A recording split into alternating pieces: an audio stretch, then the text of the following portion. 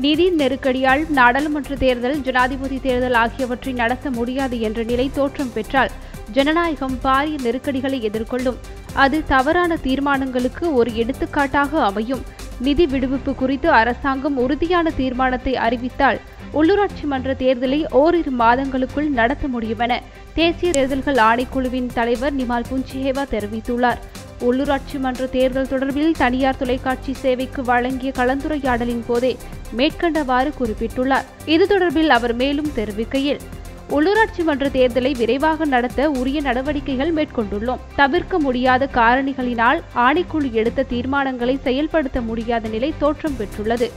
தேர்தல் விவகாரம் இழுபறி நிலையில் உள்ளமை கவலைக்குரியது. நிதி நெருக்கடி காரணமாக உள்ளூராட்சி மன்ற தேர்தல் தொடர்ந்து இழுபறி நிலையில் உள்ளது. பிரதமருடன் இடம்பெற்ற பேச்சுவார்த்தையின் போது நிதி விடுவிப்பு தொடர்பில் உறுதியான தீர்மானங்களை அறிவிக்குமாறு வலியுறுத்தியுள்ளோம். நிதி தொடர்பில் சாதகமான தீர்மானம் கிடைக்கப்பெற்றால் அதனை அடிப்படையாக கொண்டு தேர்தல் நடவடிக்கையை முன்னெடுக்க முடியும்.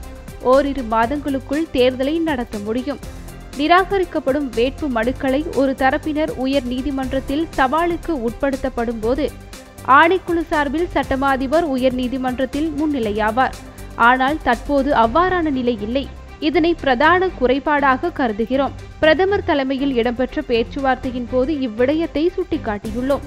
சட்டமா அதிபர் முன்னிலையாகாத போது தனிப்பட்ட சட்டத்தரணியை முன்னிலைப்படுத்த வேண்டும். அது நடைமுறைக்கு சாத்தியமற்றதாக உள்ளது.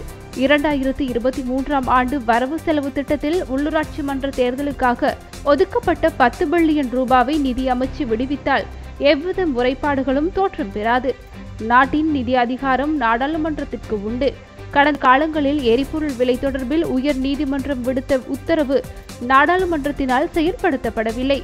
ஆகவே நீதிமன்றத்தின் உத்தரவுகளும் நாடாளுமன்றத்தின் செயற்பாடுகளுக்கும் இடையில் ஒரு சில வரையறைகள் காணப்படுகின்றன. நிதி நெருக்கடியினால் தேர்தலை நடத்த முடியாது என்பது நாட்டின் வழக்கமாகிவிட்டால் ஜனநாயகத்தின் பாரிய நெருக்கடியை எதிர்கொள்ளும். தேர்தல் தொடர்பில் மக்களின் நம்பிக்கை சிதைவடையும். நிதி இல்லாத காரணத்தினால் நாடாளுமன்ற தேர்தல் மற்றும் ஜனாதிபதி தேர்தலை நடத்த முடியாது என்ற நிலை தோற்றம் பெற்றால் அது தவறானதொரு நிலைக்கு எடுத்துக்காட்டாக அமையும் என்றார். உடனுக்குடன் செய்திகளை பெற்றுக்கொள்ள யூ டிவியின் யூடியூப் தளத்தை சப்ஸ்கிரைப் செய்து கொள்வதுடன் பெல் ஐகானை அழுத்தவும்.